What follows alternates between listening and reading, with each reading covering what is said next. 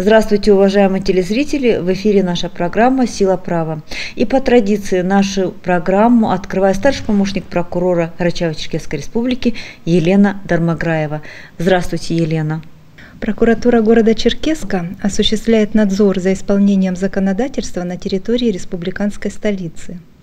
Работа прокуратуры города включает различные аспекты – Хочу отметить, что одна из ключевых задач, которая решается на всех направлениях многогранной прокурорской деятельности, это соблюдение конституционных прав и свобод человека и гражданина. Основное значение придается обеспечению правопорядка в социальной сфере и защите прав инвалидов, несовершеннолетних, пожилых людей, которые в силу возраста, состояния здоровья или иных уважительных причин не могут самостоятельно отстаивать свои права. В числе приоритетов нашей работы, конечно же, это рассмотрение обращений заявителя. Значительное число их связано с социальными вопросами, с выплатой пособий, заработной платы, пенсий, с устранением нарушений в сфере жилищно-коммунального хозяйства – Приведу такой яркий пример правозащитной деятельности прокуратуры города Черкеска. Поступило обращение жителей улицы Пятигорское шоссе, и в ходе прокурорской проверки доводы заявителей нашли свое подтверждение о том, что не было организовано уличное освещение, ненадлежащим образом предоставлялись услуги вода- и газоснабжения. Прокуратурой для защиты прав заявителей был принят целый комплекс мер прокурорского реагирования – Прокуратура города Черкеска внесла представление в мэрию, возбудила административное производство, которое рассмотрено и удовлетворено, и виновное должностное лицо Управление жилищно-коммунального хозяйства мэрии привлечено к административной ответственности в виде наложения штрафа. Также городская прокуратура обратилась с заявлением в суд. И по итогам прокурорского вмешательства права граждан, проживающих на улице Пятигорское шоссе, были восстановлены в полном объеме. Организовано уличное освещение, оборудована сеть центрального водоснабжения жилых домов, а газоснабжающие организации в рамках договоров догазификации проведены соответствующие работы. Хочу обратить внимание, что особое значение придается прокурорами защите прав несовершеннолетних. По итогам наших проверок устранялись нарушения законодательства о профилактике безнадзорности и правонарушений несовершеннолетних. Были приняты профилактические программы, пресечены факты их ненадлежащей реализации, обеспечено должное взаимодействие субъектов профилактики по проведению профилактической работы с несовершеннолетними и их законными представителями – также прокурорами проводится системная работа по реализации комплекса просветительских мероприятий с детьми и молодежью. На встречах со школьниками, на лекциях и беседах с ними разъясняются нормы ответственности за совершение противоправных поступков. И вся эта наша работа направлена на выработку правомерного поведения и формирование правовой культуры подрастающего поколения. Важная часть прокурорского надзора в сфере образования – это обеспечение надзорного сопровождения капитального ремонта объектов образования. На территории города в недавнем времени проводился капитальный ремонт в третьей и в шестой школах. И лично прокурором города Черкеска Алексеем Мухиным осуществлялись выезды в общеобразовательные организации, что способствовало активизации работы и скорейшему завершению исполнения контрактных обязательств. Сегодня в программе, уважаемые телезрители, заместитель прокурора города Черкеска Эльдар Тиунаев расскажет вам об итогах работы по восстановлению прав несовершеннолетних, по восстановлению законности в сферах трудовых и земельных правоотношений при обеспечении безопасности в сфере дорожного движения. Здравствуйте, Эльдар Исламович. Рада видеть вас тоже в нашей программе. И хочу у вас спросить в продолжении темы, э, о которой говорила Елена Юрьевна. Э, вопросы защиты прав несовершеннолетних, э, как ясно стало из нашего предыдущего разговора, они не теряют актуальности. А какие еще нарушения выявлялись прокурорами? Защита прав несовершеннолетних является одним из приоритетных направлений прокурорской деятельности.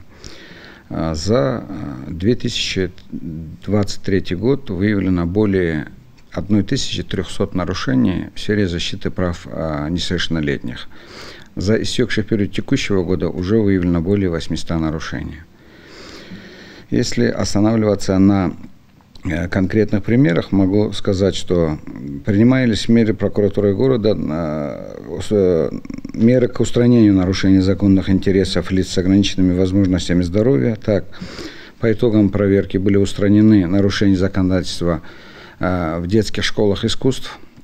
При, при этом перед зданиями двух школ отсутствовали Э, парковочные места, в том числе для инвалидов, не было вывесок и, э, соответственно, указателей.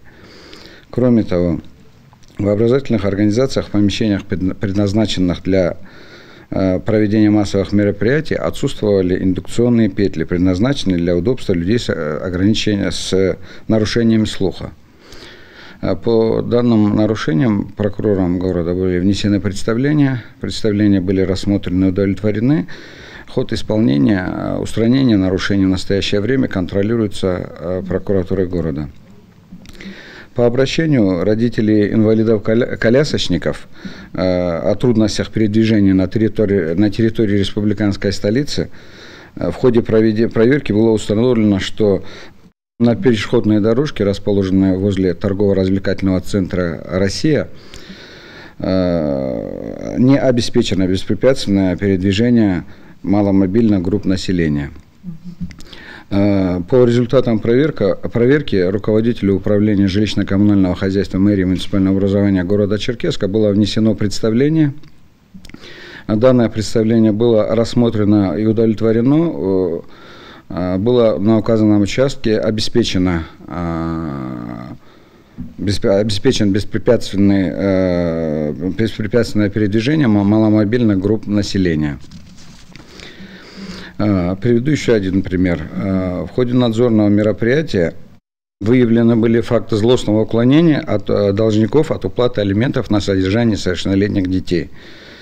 Нормами Семейного кодекса Российской Федерации предусмотрена обязанность лица, по вине которого образовалась задолженность, уплатить получателю алиментов установленную Э, законом неустойку. По итогам проверки прокурор, прокуратура города была направлена в суд 10 э, исковых заявлений о взыскании неустойки. Судом э, исковые заявления были удовлетворены и в настоящее время находятся на стадии исполнения в службе судебных приставов. Кроме того, по итогам прокурорского вмешательства приняты меры к бесплатному проезду учащихся в связи с капитальным ремонтом гимназии номер 5 э, города Черкеска.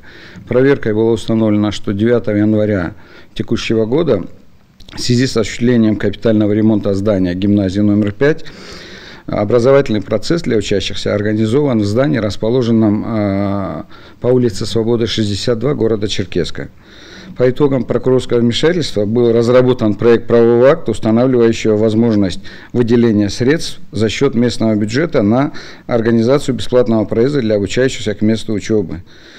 Соблюдение требований законодательства как при проведении учебного процесса, так и организации перевозок школьников находится на постоянном контроле руководства прокуратуры города.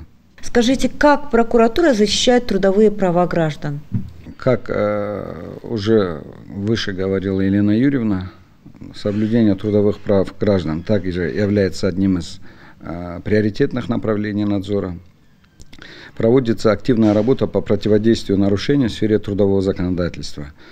На особом контроле находится вопрос своевременности э, выплаты заработной платы работникам. По итогам прокурорского вмешательства за истекший год была погашена задолженность по заработной плате перед э, работниками шести предприятий э, в размере 3 миллионов 900 тысяч рублей. По результатам надзорных мероприятий выявлено 480 нарушений э, трудового законодательства, для устранения которых было внесено 55 представлений об устранении нарушений закона, по которым привлечено к дисциплинарной ответственности 48 должностных лица. Э, принесены протесты 70, э, на 70 э, правовых локальных актов. Протесты прокурора все рассмотрены и удовлетворены. Правовые акты приведены в соответствии с требованиями федерального законодательства. К административной ответственности за тот же период привлечено 10 должностных лиц. По материалам, по результатам, по материалам прокурорских проверок в следственные органы было направлено три материала, по которым возбуждены уголовные дела. Кроме того, в трудовой сфере выявлялись факты выплаты так называемой серой зарплаты – ходе проверки по обращению заявителя прокуратура установила ненадлежащее оформление трудового договора между работодателем и работником которая выразилась в дроблении э, заработной платы на две части. На официальную, которая э, содержится в, заключенном трудовом договоре, и неофициальную. Согласно устной договоренности между э, предпринимателем, занимающимся строитель, строительством объектов, и работником, меньшая часть зарплаты сотрудника была отражена в трудовом договоре с которой впоследствии уплачивались налоги и э, страховые взносы. При этом основная часть заработной платы выплачивалась работнику э, без отражения в финансовых документах. По итогам проверки прокурором города Черкеска э, было возбуждено дело об административном правонарушении э, по части 4 статьи 5.27 Кодекса об административных правонарушениях, ненадлежащее оформление трудового договора. В настоящее время административное дело находится на рассмотрении Государственной инспекции труда в Карачаево-Черкесской республике. В другом случае вмешательство прокуратуры потребовалось для защиты трудовых прав сотрудника, поскольку ему не был предоставлен обязательно оплачиваемый отпуск. А при расторжении трудового договора не была э, выплачена компенсация за, использованные, за неиспользованные дни отпуска – в целях устранения выявленных нарушений прокуратурой города было внесено представление. Э, по результатам рассмотрения представления э, права гражданина были защищены. Э, предусмотренная действующим законодательством выплата за неиспользованные дни была ему выплачена. Кроме того, в отношении работодателя возбуждено дело об административном правонарушении – Государственной инспекции труда в Карачаево-Черкесской республике правонарушитель привлечен к административной ответственности в виде штрафа. А скажите, пожалуйста, какие меры предпринимались прокуратурой для восстановления прав жителей города Черкеска? Есть ли вообще такие примеры? Да, такие примеры есть. А, например, по представлению прокуратуры города принимаются меры к устранению нарушений законодательства в сфере безопасности дорожного движения. По коллективному обращению жителей улицы Тениса была проведена проверка, а, которая выявила, что мост через реку Абазинка установлен в отсутствии разрешительной документации. Использование земельного участка осуществляется без правоустанавливающих документов. Указанные нарушения создавали угрозу, э, угрозу причинения вреда жизни и здоровью граждан, их имуществу, а также окружающей среде. По данному факту было внесено представление в адрес мэра города Черкеска. В ходе рассмотрения представления выработан комплекс мер, э, направленный на устранение выявленных нарушений и обеспечение безопасности дорожного движения. Кроме того, в ходе обсуждения принято решение о проведении ремонта дорожного полотна по улице Балкарская и в целях разгрузки основной а, а, основных транспортных артерий города, улицу Ленина и улицу Октябрьскую. Фактическое устранение нарушений контролируется прокуратурой города Черкесска. Еще один пример пресечения нарушения в сфере безопасности дорожного движения.